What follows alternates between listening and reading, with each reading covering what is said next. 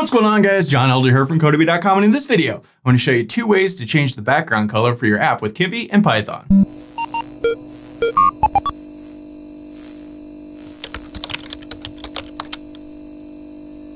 Alright guys, like I said in this video, we're going to look at two different ways to change the background color of your app.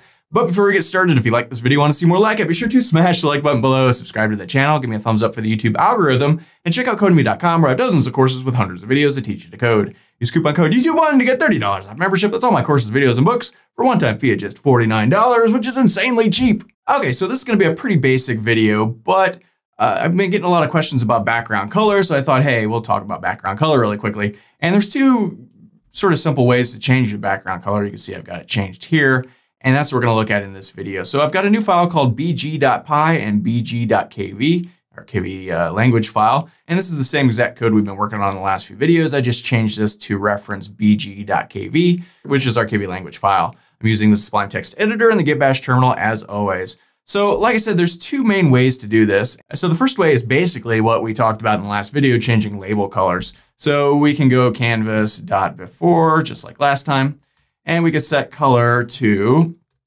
this is gonna be an RGBA value, and we could just set it to anything we want. So we could go one, one, one, one. I think that's white. And then we want to set our rectangle.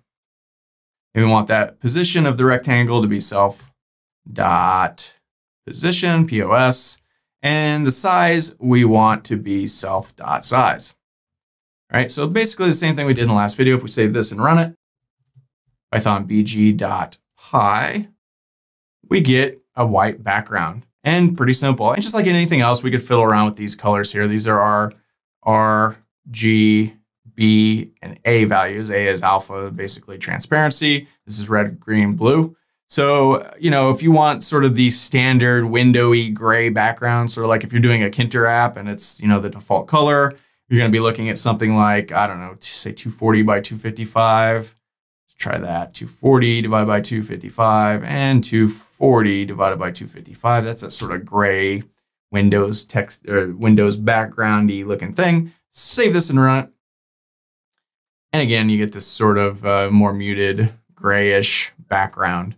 But whatever you want, any color you want, you can do it that way. So that's one way to do it. Another way, and an even easier way, is back in our actual Python file. So up here at the top, we can import something. We can go from kivy.core.window, we want to import window, and that's a capital W. And then down here in our build function, where we return, you know, whatever, we're still calling our app awesome app, we can just call, we can just call window dot clear color and then set that equal to whatever RGB value we want. So again, we could go one, one, one, one, and then that's all there is to it. So Let's go ahead and save this. Now I'm going to take this out just so that we can see this work. So save this, save this, go ahead and run this guy.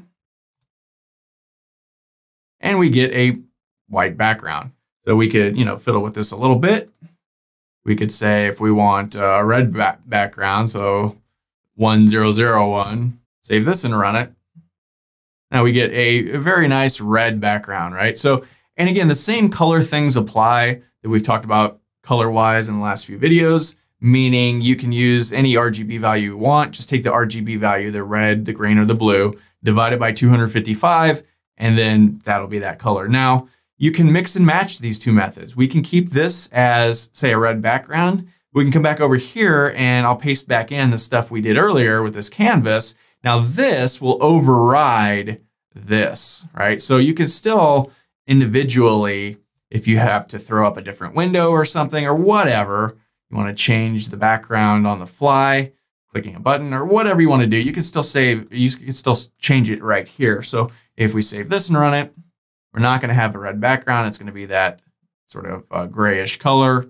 Or if we want to be very dramatic, we could change all of these to, let's say, zero, zero, one, one, make it blue versus red. I guess that's fun. I don't know, I'm just playing at this point. And now we get a blue background, right? And these buttons, of course, are from the previous video we worked on. They're just, you know, basic buttons that we've designated down here in our little box layout from the last video. So really, really simple to change the background color of your Kivy app, a couple different ways you can choose from, whatever is more appropriate for you and your app at the time. Uh, you know, maybe not worth a whole video, but it's a basic thing that people need to understand. And this is a basic course in Kivy at this point. We haven't gotten into more advanced stuff. So I figured, hey, we'll make a video about it and that should be fun. So that's all for this video. If you'd like to be sure to smash the like button below, subscribe to the channel, give me a thumbs up for the YouTube algorithm, and check out codemy.com where you can use coupon code YouTube1 to get $30 off membership. So pay just $49 to access all my courses, over 47 courses, hundreds of videos, and the PDFs of all my best-selling coding books. Join over 100,000 students learning to code just like you. My name is John Elder from Codemy.com, and I'll see you in the next video.